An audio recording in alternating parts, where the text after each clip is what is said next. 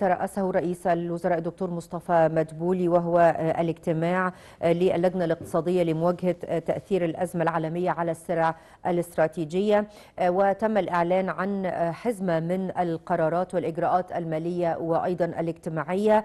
ويعني تم تخصيص مبلغ 130 مليار جنيه للتعامل مع التحديات الاقتصادية العالمية الحالية وتخفيف أثرها على المواطنين. سيتم توفير 2.7 مليار جنيه لضم 450 ألف أسرة جديدة للمستفيدين من تكافل وكرامة وأيضا 190 مليار جنيه للهيئة القومية للتأمين الاجتماعي لصرف الزيادة السنوية في قيمة المعاشات بنسبة 13 في المئة. تحدث أيضا رئيس البنك المركزي دكتور طارق عامر عن الإجراءات التي اتخذها البنك واتخذتها الدولة سواء في خلال أزمة كورونا أو في خلال أيضا تداعيات العملية العسكرية الروسية على أوكرانيا. من أجل يعني محاولة دعم الاقتصاد المصري وتوفير الاحتياجات الأساسية للمواطن المصري مع التأكيد أيضا على ضمان توفير هذا طبعا من جانب رئيس الوزراء على توافر السلع الأساسية والاستراتيجية في السوق المصري والعمل على التخفيف من حدة تداعيات الأزمات المتتالية على الاقتصاد العالمي وبالتالي على الاقتصاد المصري. ينضم إلينا عبر الهاتف الآن الدكتور كريم عادل رئيس مركز العدل للدراسات الاقتصادية والاستراتيجية. دكتور كريم كيف ترى هذه الإجراءات الاقتصادية وأيضا الحماية الاجتماعية التي تم الإعلان عنها منذ قليل؟ مساء الخير على حضرتك وعلى السادة المشاهدين. طبعا هي حزمة من الإجراءات الضرورية في هذه المرحلة بتعكس قراءة الدولة أو سرعة قراءة الدولة للأحداث والمتغيرات العالمية. بتعكس وجود إدارة أزمة قوية وإدارة أزمة ناجحة. قادرة على اتخاذ حزمة من الإجراءات التحفيزية سواء على المستوى الاقتصادي أو المستوى الاجتماعي بهدف الخروج من أزمة عالمية أضرت بكافة اقتصادات دول العالم واللي بيعتبر الاقتصاد المصري جزء لا يتجزأ من الاقتصاد العالمي بيؤثر فيه وبيتأثر به طيب. طبعا حجم الدعم اللي قدم سواء في زيادة الأجور والمرتبات سواء في حجم الاعفاءات الضريبية أو في دعم لقطاع البورصة جميعها بتعكس يعني وجود قوة للاقتصاد المصري وقدرة على مواجهة مثل هذه الأزمات. وده بيعتبر من يعني من مكتسبات برنامج الإصلاح الاقتصادي اللي بيساعد على توفير احتياطي نقدي وتوفير سياسة مالية ونقديه قادرة على إحداث المتغيرات بما يتواكب مع المرحلة الحالية.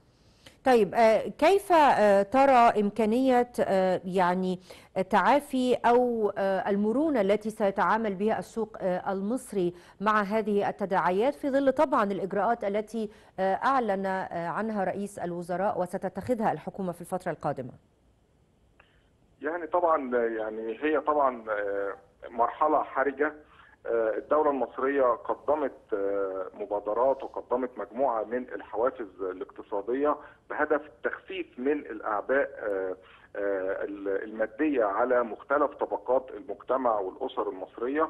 أرى أن في الفترة القادمة سيكون هناك أيضا نوع من زيادة الرقابة على مختلف الأسواق لتوفير السلع الأساسية بصورة كاملة من ناحية والحد من ارتفاعها من ناحية أخرى. وبكده بتقدر الدولة تحقق نوع من الاستقرار في معدلات التضخم والرقابة على الأسواق. خلينا نشير لنقطة مهمة جدا وهي نجاح الدولة في توفير السلع الأساسية في توفير بديل للقمح الروسي من خلال استراتيجية انتهجتها على مدار السنوات الأخيرة بإنشاء الصوامع والتوسع الأفقي في المساحات المزروعة من القمح. كل هذه الأمور بتحد يعني نسبيا من مضاعفات هذه الأزمة العالمية على الاقتصاد المصري والسلع الاستراتيجية فيه. طيب حديث دكتور طارق عامر عن قدرة السوق المصري على عبور تداعيات أزمة كورونا. إلى أي مدى هي مؤشر أيضا على قدرة السوق المصري على عبور يعني هذه الأزمة المتعلقة بتداعيات الحرب الأوكرانية؟ هل يعتبر ذلك يعني ما حدث في أزمة كورونا مؤشرا على كيفية التعامل مع الأزمات بشكل عام؟ هو مؤشر من ناحية أن الدولة المصرية كان لديها مجموعة من الإجراءات والأدوات الخاصة بإدارة الأزمة والإجراءات الاستباقية للحد من تأثيراتها على الاقتصاد المصري وده كان نتيجة صلابة ومرونة الاقتصاد المصري اللي بتعد أيضا أحد مكتسبات برنامج الإصلاح الاقتصادي. طبعا إدارة الدولة المصرية للملف الاقتصادي خلال أزمة كورونا هو بيعتبر مؤشر جيد لأنها نجحت في تحقيق معدلات نمو إيجابية من ناحية نجحت في تقديم الدعم لمختلف القطاعات المالية والاقتصادية والإنتاجية داخل الدولة وبالتالي هنا بيعكس إن الدولة المصرية قادرة على العبور من مثل هذه الأزمات خاصة وان هذه الأزمة هي يعني أزمة يعني بنأمل أنها بتاخذ وقتها وبتمر سريعا لأن ارتفاع الأسعار هو ليس نتيجة زيادة الطلب ولكن هو نتيجة ارتفاع أسعار المعروض نتيجة ارتفاع تكاليف الإنتاج وتكاليف الشحن والنقل. طيب يعني أريد أن أسأل سؤال أخير دكتور كريم عن تحديد أسعار الخبز، يعني كان الفترة الماضية هناك لغط حول تقديرات الارتفاع في أسعار الخبز، اليوم صدر قرار بأوزان معينة وبمقابل مادي معين، ما هو المطلوب بقى لضمان التزام المخابز والأفران وبائعي الخبز بهذه الأسعار؟ يعني كما أشرت لحضرتك في بداية الحديث إن إحنا المرحلة القادمة هي كما شهدت وستشهد دعم لمختلف القطاعات الاقتصادية فهي أيضا ستشهد المزيد من الرقابة على المخابز والمنتجين بصفة عامة لمختلف السلع الأساسية. طبعا الخبز هو يعني هو لقمة العيش الأساسية لمختلف الأسر المصرية بمختلف الطبقات وبالتالي كان لابد من المزيد من الرقابة كما فعلت الحكومة المصرية بتحديد أسعار وفقا للأوزان وده طبعا هيصحبه المزيد من الرقابة على المخابز وكافة المنتجين للخبز. حضرتك اشكرك شكرا جزيلا. دكتور كريم عادل رئيس مركز العدل للدراسات الاقتصادية والاستراتيجية وبينضم إلينا أيضا عبر الهاتف دكتور محمد الشاوتفي أستاذ الاقتصاد بجامعة الزقازيق. تعليقك دكتور محمد على هذه الحزمة من الإجراءات الاقتصادية وإجراءات الحماية الاجتماعية التي أعلن عنها مجلس الوزراء. الحقيقة طبعا النهارده مجلس الوزراء اصدر حزمه من الإجراءات الوقائيه تحسبا لإدارة الأزمة الناتجة عن روسيا وأوكرانيا والحقيقة كان هدفها مجموعة من الحاجات. أول هدف من من من هذه الحزمة هو المحافظة على مستوى السيولة من النقد الأجنبي والمحافظة على الاحتياطيات النقدية على أساس إن هذه الأمور لو كانت استمرت كان ممكن تتسرب هذه المخدرات أو الاحتياطيات وتكون في صف سوق السوداء وليست في صف البنوك المصرية أو المصارف المصرية. الأمر الثاني والمهم جدا هو المحافظة على السيولة بمعنى إن هو الدولة تحافظ على مقدار السيولة اللي موجودة في البنوك حتى تستطيع أن توفي بالاحتياجات الأساسية والاستراتيجية اللي كانت موجودة. الأمر الأهم من ذلك هو المحافظة على أصول الدولة.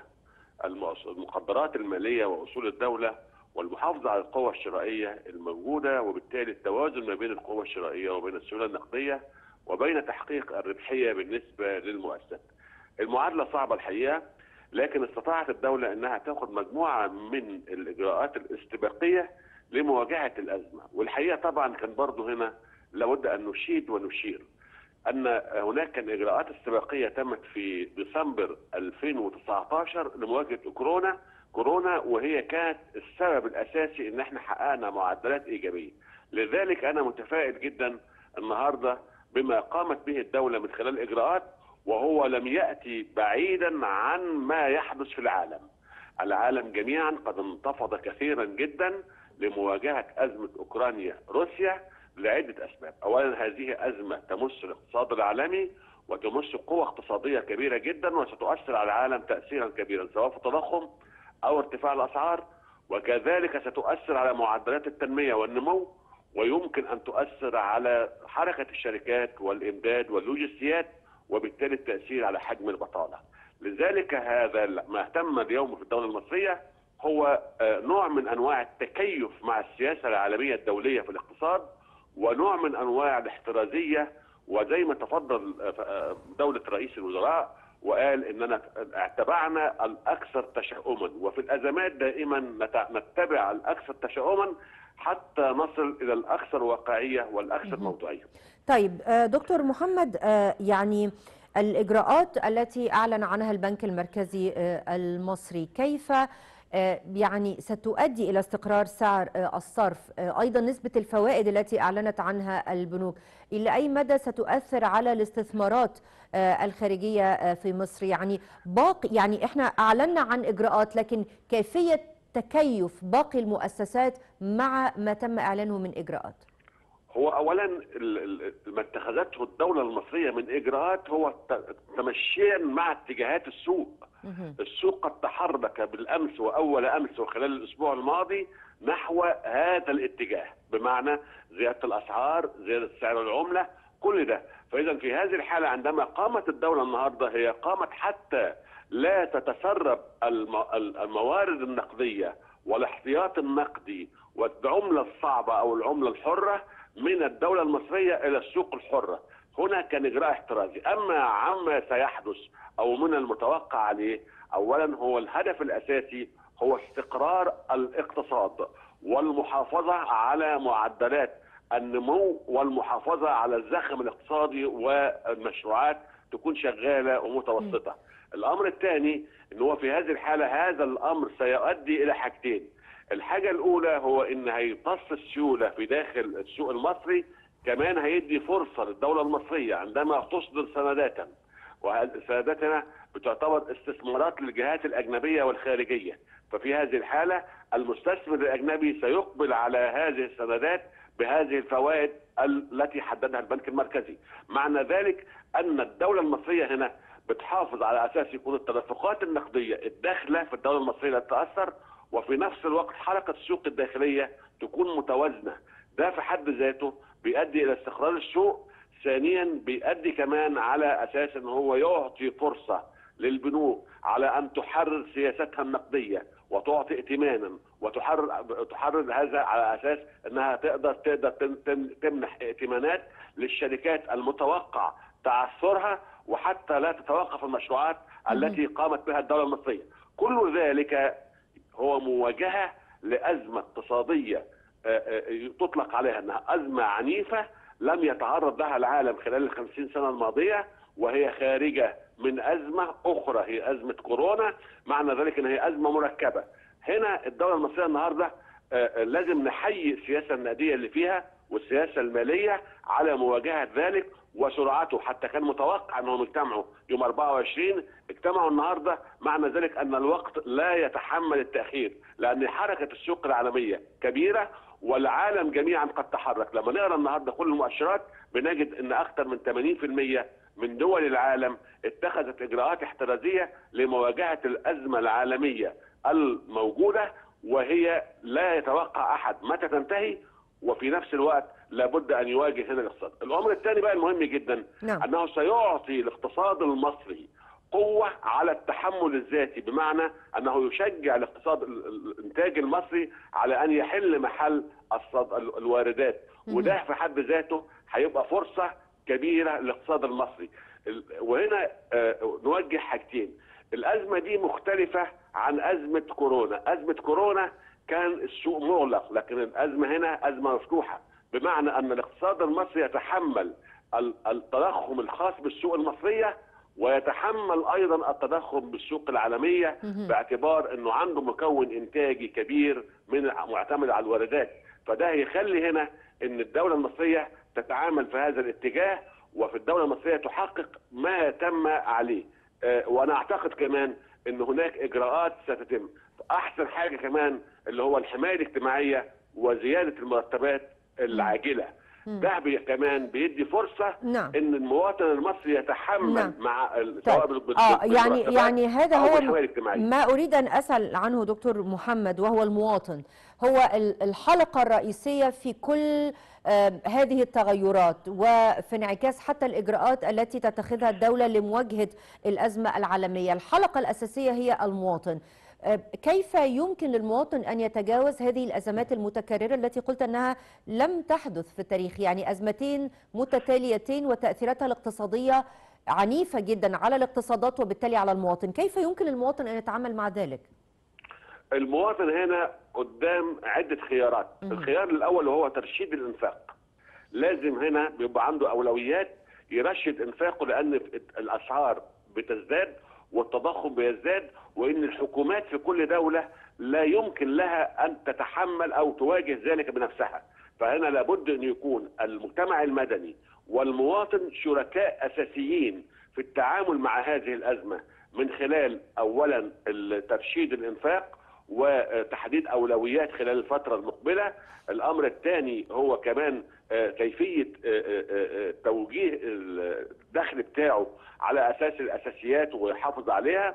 وكمان في نفس الوقت كمان الدولة لازم تواجه ده بمجموعة إجرائية كبيرة جدا زي اللي هو ضبط السوق والمزيد من المجمعات الاستهلاكية لتقدم للمواطن الخدمات بسعر موازي سعر عادل آه، مواجهة ولا تترك هذا الأمر للقطاع الخاص بصفة عامة أو التنمية، معنى ذلك إن هنا النهارده نحن محتاجين إلى جمعيات آه، استهلاكية أو جمعيات تعاونية مجتمعية تشتري وتقدم للمواطن منتجات بأسعار حتى يحدث التوازن في السوق لأن النهارده السوق الحره ال- ال- مصر صحيح فيها اقتصاديات سوق لكن أيضا آه، آه، هذه الاقتصاديات السوق ليست كاملة 100% وبالتالي يجب أن تكون الدولة واضحة ومحددة وهي قامت النهارده خلال الأسبوع اللي فات ده بقولنا واحد ومجموعات كبيرة لكن كمان لازم مش يكون الدولة بس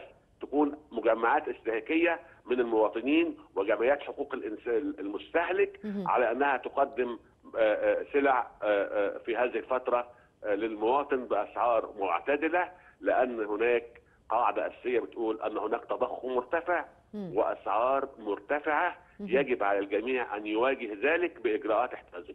طيب سؤالي الأخير لحضرتك عن آه، آه، يعني إجراءات ضبط السوق فكرة وجود الضبطية آه، القضائية لل- لمفتش التموين. آه، فكرة الإبلاغ عن آه، التجار أو الأفران والمخابز التي تتجاوز في الأسعار الرسمية المعلن عنها. آه، هنا ما هو الدور طبعا آه، أجهزة حماية المستهلك وأيضا دور ال- المواطن في التعامل مع هذه الأجهزة للإبلاغ عن أي تجاوزات آه، وارتفاعات غير مبررة في الأسعار. خليني أكد لحضرتك بجملة أساسية في. حالة عدم المنافسة الكاملة فلا بد من تدخل الدولة. المجتمع يعاني النهارده من عدم منافسة كاملة لأن في اجراءات استثنائية ودولية تؤثر على ذلك، اذا هنا الضبطية القضائية بالنسبة للدولة أو المسؤول سواء التموين أو الشرطة تكون أمر واجب ويجب أن تدعم شعبيا ومن حيث الدولة، يعني هنا في هذه الحالة لازم الشعب يؤيد ذلك ويكون مساعد لهذه الأجهزة في الإبلاغ عن أي احتكار سلعة. نعم. بمعنى أن هنا التدخل من حيث تحديد الأسعار هو أمر قد يكون منقوص في إيد الدولة لكن الاحتكار هو أمر في إيد الدولة.